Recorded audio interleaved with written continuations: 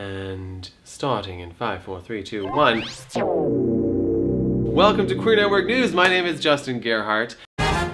Our dear friend Riyadh Khalaf just released his latest documentary called Fighting for Pride, in which he captures the first ever Swaziland Pride, all made possible through YouTube's Creators for Change program. We caught up with Riyadh at Buffer Festival earlier this year to talk more about this life-changing experience.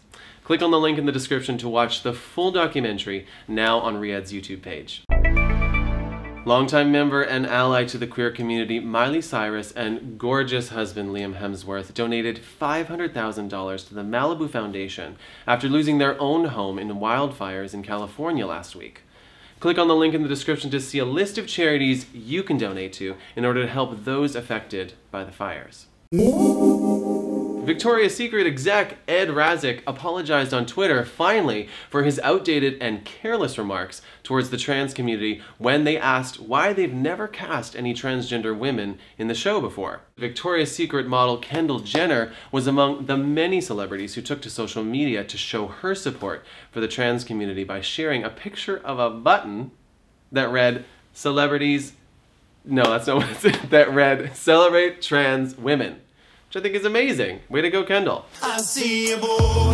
All right, Aaron Porter, who I'm sure you've never heard before, because I didn't know him before this. He is from England, and he is an R&B singer, and he is the new queer pop star to look out for with the release of his new single, Boy, in which he deals with issues of femme-shaming, toxic masculinity, and what he thinks it means to be straight.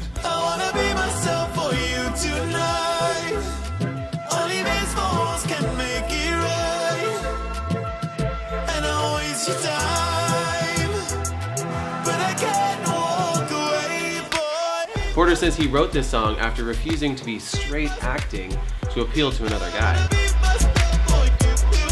The last tidbit, Celine Dion, my idol, is about to disrupt binary gender with a new unisex line of clothing for babies and kids called Celine New New New, in a partnership with kids fashion brand New New New. How ironic. This new style liberates children from the traditional roles of boy or girl by using more neutral colors, and because it's Celine Dion, a lot of glitter.